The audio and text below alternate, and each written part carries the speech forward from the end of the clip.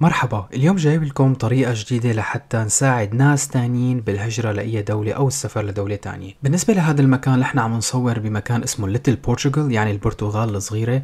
هذا الحي موجود بقلب كندا. طبعا البرتغاليين اللي هاجروا على كندا بعام 1950 أو 1954 وتقريبا حاليا عددهم هو 500 ألف نسمة بكندا. رح نتجه باتجاه الحي اللي اسمه ليرل إيرلي اللي هي إيطاليا الصغيرة لما الطليان هاجروا على كندا بعام 1920 1925 خلينا ندخل بالتفاصيل. أول شيء كل الأشخاص يلي هن عايشين مثلا بتركيا عايشين بلبنان عايشين مثلا بالأردن عايشين بدول الخليج بيقدروا يستفادوا من الشركاء أو الناس يلي عم يشتغلوا معها هلأ بهذه البلدان. على سبيل المثال بيقدر مثلا الشخص اللي عنده كفيل مثلا بقطر وكفيله مثلا بيشتغل بالاستيراد والتصدير وإقامة الشخص على هذا الكفيل بيقدروا إنهم يعملوا استيراد مثلا من ألمانيا ويعملوا رسالة شرح بروفيشنال تحكي إنه هذا الشخص اللي هو الكفيل القطري بحاجة مساعدة العامل اللي عنده اللي هو من أي جنسية ما بهم لازم يسافر معه ويأشرف على الأعمال والاستيراد من الخارج إلى قطر. طبعا هذه الطريقة بحاجة أوراق أخرى مثل أنه ترخيص الشركة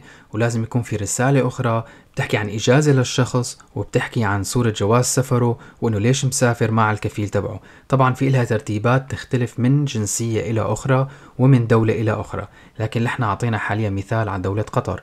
خلينا نحكي مثلا عن طريق الإمارات.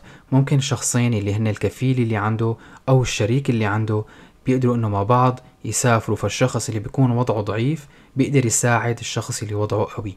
بيقدروا يساعدوا بعضهم بطريقة غير مباشرة بتفيد الاثنين عن طريق رسالة شرح مفصلة مع business plan بناء على ال business أو العمل يلي هو عم يمارسه الشخص اللي وضعه بيكون أقوى من الشخص الثاني. وأيضا على سبيل المثال هذه القاعدة بتنطبق على الناس اللي موجودين مثلا بالكويت على الناس الموجودين بالبحرين وطبعا إذا كان الشخص موجود بتركيا وعنده علاقة جيدة مع شريكه التركي مثلا أو مثلا مع شريكه اللبناني أو شريكه مثلا الأردني بيقدروا الاثنين يتساعدوا ويقدروا إنه يعملوا خطة عمل. ممكن تفيد الاثنين مثلا بالسفر على تشيك مثلا في فيزا اسمها ال živno وهنا بحاجة الناس اللي عندهم أفكار ليعملوا business صغير مش business اللي بيحتاج مئات الآلاف. لكن إذا الاثنين اجتمعوا مع بعض وقدموا هذه الفكرة مع خطة محترفة professional أو رسالة شرح أو business plan خطة عمل مع حساب بنك مشترك. بيقدروا هن الاثنين إنه آه، آه، يرفعوا نسبتهم للقبول بنسبة كبيرة ويروحوا على تشيك والاثنين يحصلوا على إقامات حتى لو كانوا من جنسيات مختلفة.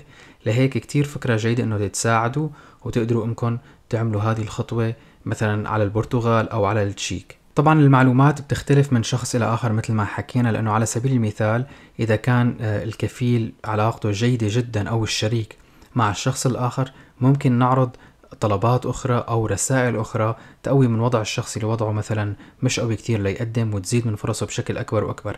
لهيك ما فينا نحكي كل الأفكار لأنه كل فكرة بتنطبق على حالة معينة. حتى الناس ما تفكر أنه هي حل واحد بينطبق على جميع الناس. بتمنى آه، يكون عجبكم اليوم هذا المحتوى. إذا كان في أي تعليقات فيكم تركون مكان التعليقات أو أي رسائل فيكم تبعتوا لنا على الإيميل. شكرا كتير طاب يومكم.